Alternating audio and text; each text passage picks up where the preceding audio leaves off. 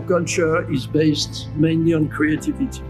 And in a startup, the major reason for success at the beginning is to have an idea, a, a creative idea, an innovative idea that is really putting the company uh, with an advance to everybody else. It should be, to be successful, a game changer.